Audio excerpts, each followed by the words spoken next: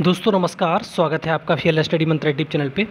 दोस्तों, आठ हज़ार पचासी भर्तियों का सब कुछ खेल समाप्त हो गया। नियुक्ति पत्र बट गए और आपको जो नई भर्ती हैं, पाँच हज़ार लेखपाल की, उसका भी रास्ता साफ़ हो गया।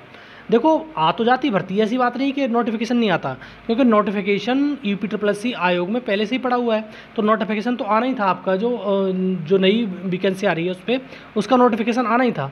लेकिन उसमें दिक्कत क्या होती, फिर ये भी लोग, बहुत ज़्यादा लोग इसमें ही फॉर्म भर देते तो उसका जो आपकी शॉर्ट लिस्टिंग होती, वो बढ़ जाती पहले तो। दूसरा, आपके जो मेन वो होता मतलब अब भी देंगे परीक्षा तो ऐसी बात नहीं, परीक्षा नहीं देंगे।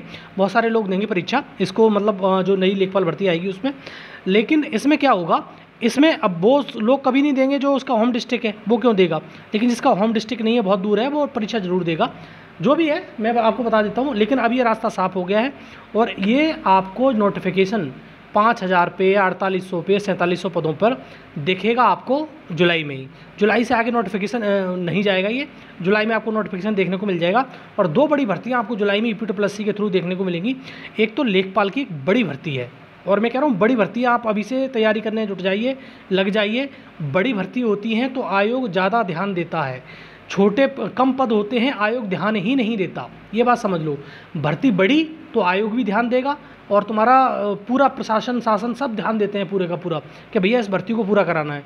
बाद बाकी छोटी मोटी भर्तियाँ जैसे दो सौ निकली, ढाई सौ निकली, पाँच सौ निकली उस पर ध्यान ही नहीं आता लोगों का। और उनको वो नहीं हाईलाइट नहीं हो पाती, जैसे आठ हज़ार पचासी पदों की भर्ती थी, लेखपाल की कितनी हाईलाइट हो गई। और इसके चक्कर में हाईलाइट होने के चक्कर में ही थोड़ा सा जल्दी से ये निपट गया। मतलब सुप्रीम कोर्ट में भी कम मत मानो, सुप्रीम कोर्ट कब से चार साल से भर्ती खिंच रही है मतलब लेखपाल वाली। तो आपको ये चार साल नहीं लगनी चाहिए। ये एट कम से कम मतलब ज़्यादा से ज़्यादा दो सालों में ये भर्ती पूरी हो जानी चाहिए। जब से नोटिफिकेशन आए, तब से मतलब फाइनल ज्वाइनिंग तक। दो वर्ष तो ठीक रहता है, दो वर्ष से ज़्यादा होता है तो बहुत समस्या होती है। दो वर्ष तो ये मान लो कि जब ये पिछली बार आठ हज़ार पचासी पदों का जो आपकी परीक्षा हुई थी इकतीस जुलाई 2022 में और 2024 जुलाई हो गई। लगा लो दो वर्ष तो तब से हो गए परीक्षा होने से। तो ये बहुत बड़ा बेकार चीज़ है और इस पर ध्यान देना पड़ेगा आयोग को। और ये चीज़ तो आप समझ लो कि आपकी जो नई भर्ती का नोटिफिकेशन आएगा पाँच हज़ार पदों पे, उसकी जो परीक्षा होगी, वो अगले साल 2025 में इतने ही समय तक मान के चलो। समय आपके पास सफिशियंट है। आप वही चीज़ जो पहले आती थी वो पढ़ते रहिए। लेकिन एक चीज़ बिल्कुल दिमाग में रखिए कि आपको जो कट ऑफ़ गई है ये वाली, इस कट ऑफ़ को ज़रूर ध्यान में रखिए। लेकिन आप कहोगे, अभी से अभी से मैं ये ये नहीं कह रहा हूँ कि ऐसा ही पेपर आएगा तो इतनी कट ऑफ़ जाएगी। पेपर बहुत हार्ड आ जाएगा तो साठ भी कट ऑफ़ ना जाए।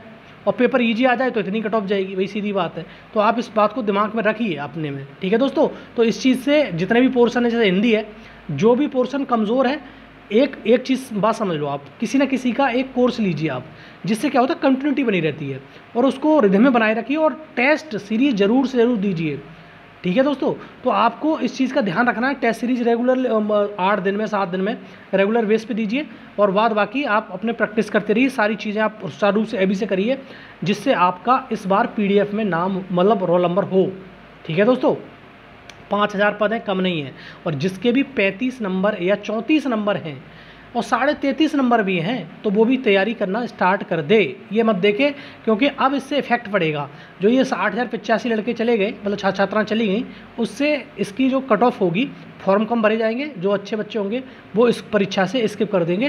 तो अब ये पैट का जो शॉर्ट लिस्टिंग होगी, थोड़ा सा इसमें गिरावट देखने को मिल सकती है। आधा नंबर की, एक नंबर की, इतनी गिरावट आपको देखने को मिल सकती है। ठीक है दोस्तों तो आप तैयार रहिए। आपका नोटिफिकेशन जुलाई में आ रहा है और अच्छे पद हैं, तैयारी करिए। नौकरी लीजिए और खुश रहिए। ठीक है दोस्तों? अगर वीडियो अच्छा लगता है तो लाइक शेयर कर दिया करो चैनल सब्सक्राइब कर लो। धन्यवाद।